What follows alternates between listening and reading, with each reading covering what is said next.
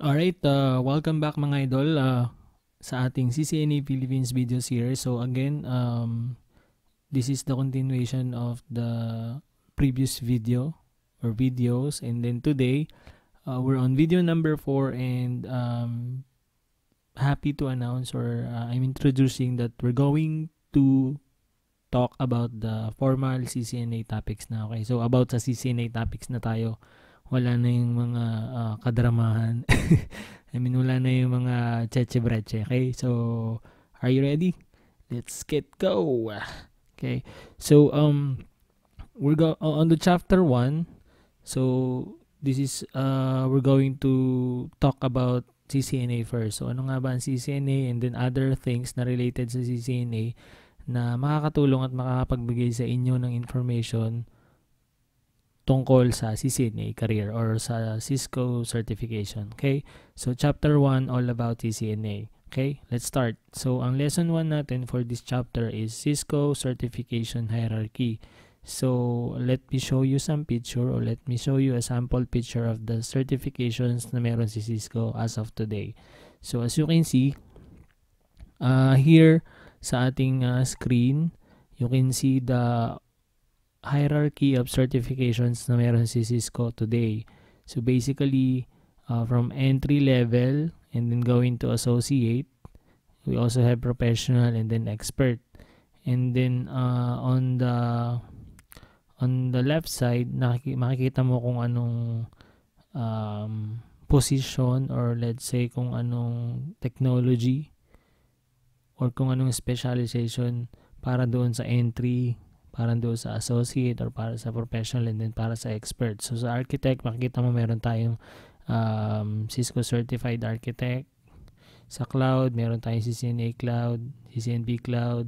Sa collaboration, cyber security, alam ko bago lang to eh. Cyber security, uh, last December or November lang ata yan. And then data center, meron siyang associate, professional, and expert. So, and then everything. So, meron din tayong for Internet of Things, security, service provider, wireless specialist. So, uh, ang focus natin since ang blog is CCNA Philippines, so basically focus tayo sa CCNA. So, pansinin niyo yung associate column or row, row ba to row. And then, uh, ang, ang pinaka-focus natin kasi ang basic at ang fundamentals or foundation ng CCNA ay ang CCNA route and switching or route and switch. So basically, ito yon CCNA route and switch. Okay? So, yan yung focus natin dito sa vlog at dito sa video series. Kung mag-e-exam ka ng CCNA, yan din yung kukunin mo. Usually, yan yung kinukuha kasi yan yung pinaka-foundation ng Cisco career. Kasi yung, yung ibang um, specialization or ibang uh, certification is um, naka-base or nagro-root din dito sa CCNA routing and switching kasi kailangan marunong ka munang makaintindi or alam mo kung paano gumagana yung route routing and switching bago mo maintindihan pa yung ibang mga uh, certification. So, uh, for your information, dito sa vlog at dito sa video series, focus tayo dyan sa CCNA routing and switching. Pag kukuha ka ng exam, malamang sa malamang yun din ang kukunin mo. So, uh, routing and switching. And then, uh, yan. So, CCNA, RNDS, and then ang exam number niya, today, bago yan, last Dece- uh, September, I think. CCNA, RNS, uh, exam number 200-125. So, so, yan yung exam number niya kapag magpapalista ka ng exam kay Cisco. Okay?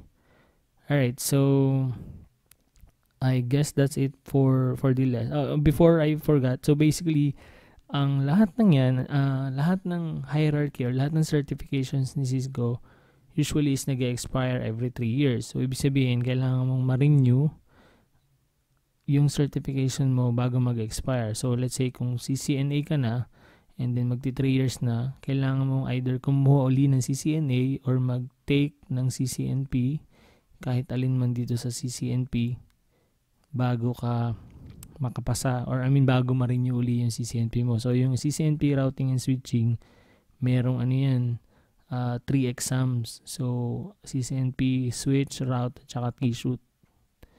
So pwede kang or pwede ka rin mag-take ng other CCNA specialization uh, certificate certificate gaya ng nakikita nyo sa screen or uh, pwede ka magsi-CIE kasi alam ko yung ibang mga CCNP required yan na kailangan CCNA ka muna eh bago mo kunin. So ganun. Right? So on the coming videos or on the coming lesson pag-uusapan natin lahat yan. More on CCNA kasi nga sabi ko doon tayo focus. Okay? Alright so that's it for this lesson. I hope you find something useful and some informative information on this one. And we're going to uh, talk more about CCNA on the coming lessons. Okay? Alright, Idol, maraming salamat. God bless.